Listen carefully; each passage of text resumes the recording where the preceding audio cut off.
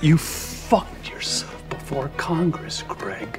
That's quite a harsh assessment. I think. Uh, That that's your opinion. But but but but, but if if I if I wish that it might please the court, sire, you're a fucking joke.